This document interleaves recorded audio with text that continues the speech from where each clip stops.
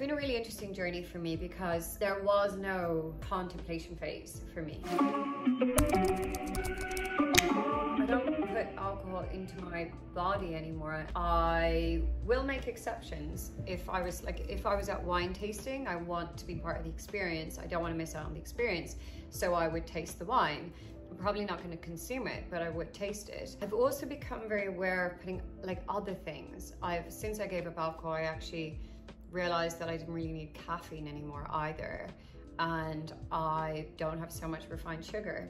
So I am a lot leaner actually as a result of giving up alcohol, but I don't think it's the alcohol. I think it's the fact that giving up alcohol made me quite aware of what I put in my body and therefore I've become leaner because I've become more into optimizing my health in all shapes and forms um, which leads me to another point. I like to optimize my mental health. I like to optimize my body. I like to optimize my brain and I like to perform at a really high level. So in my career, I like to perform at a really high level, which doesn't mean like killing myself or like working to like, you know, and not having a good work-life balance. But I do want to wake up fresh.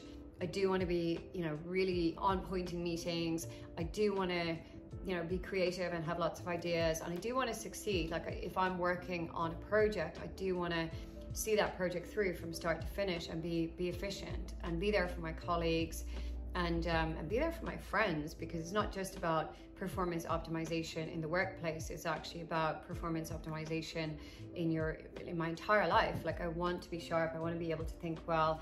I don't want to be experiencing anxiety because I'm hungover I don't want my mood to be affected because I'm hungover. And um, having those those down days, like the, the days when I would just write off a whole day because I was hungover, um, I don't want to have those anymore. I actually don't have time for it and I don't want to make time for it. It's a complete waste of time for me. When I was hungover, the tiredness along with a headache would be enough for me to be like, I cannot do anything today. I would have lost several working days in a year due to you know, at the very least being very tired because I had been drinking.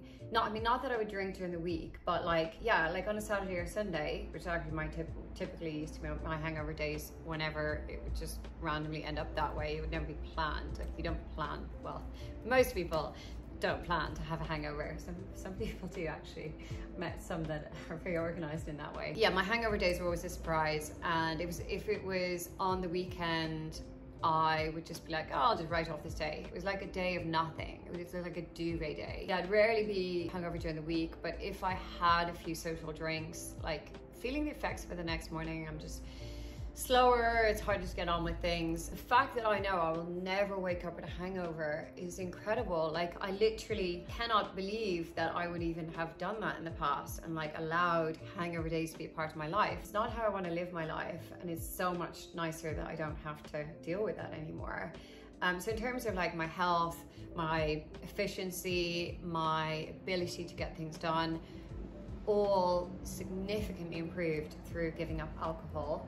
Um, so it's been really good for me. But I, I don't mind people drinking around me. I want actually want people to drink around me because um, people still say to me, because people don't know whether I drink or not. Like no one no one knows. I mean apart, apart from people who follow me on social media, it's like it's not even a thing. It's like I don't make a big deal out of it. But people still often say, let's go for drinks. And I go, yes. And then like for me, I still go for drinks with people. Like, but going for drinks for me is I order a non-alcoholic beer and non-alcoholic cocktail. You know, I love like social environments. I love parties. I love, you know, I love bars. And as I mentioned, yeah, no one, no one has ever.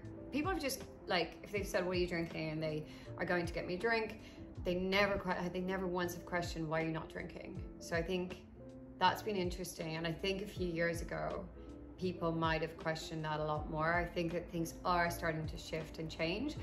I know that it is still a minority of my kind of age group that are leaning away from alcohol. The younger generation are much better at not gravitating towards alcohol in the first place. So I think it's important to kind of um, share, you know, information about the positive sides to giving up alcohol because it is still a huge misconception that people should or have to have an alcohol problem or be pregnant to not drink and that's certainly I'm, I'm neither pregnant nor have I ever had an alcohol addiction or serious problematic binge drinking behavior apart from what was, you know, at university I drank like what was considered the social norm, which I know now was definitely excessive. But anyway, I got I got away with it and no harm is done.